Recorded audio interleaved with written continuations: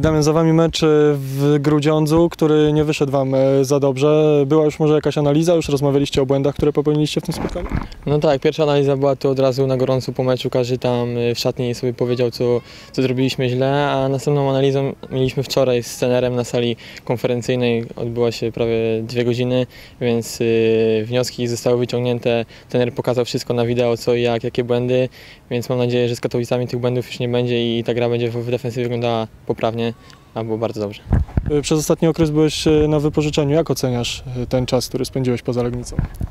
No wróciłem po roku czasu do Legnicy, tak jak wiele zmian doszło tutaj w klubie Wróci, i oceniam wypożyczenie bardzo dobrze. Dodało mi pewności, wróciłem tutaj, wy, wywalczyłem sobie na treningu, na obozie skład do pierwszego, do pierwszego składu i jestem zadowolony z tego, że doceniają moją pracę trenerzy, sztab i mam nadzieję, że kibice też będą doceniać to po meczu z, z Katowicami. No właśnie, czego się spodziewacie, biorąc pod uwagę czekający Was mecz w niedzielę? GKS Katowice to jaki Waszym zdaniem przeciwnik?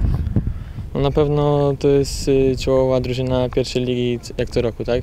No a czego oczekujemy po naszej grze? Oczekujemy tego, że będziemy grać jak w sparingach, że będziemy dominować y, przeciwnika utrzymaniem piłki, tego co trener nas uczy na, od, pierwszego, od pierwszego spotkania z nim. Taką jaką koncepcję trener ma, to musimy to, to konsekwentnie z, z GKS-em realizować i, i mam nadzieję, mam nadzieję że, że ci punkty są na w Legnicy. Serdecznie zapraszam na mecz.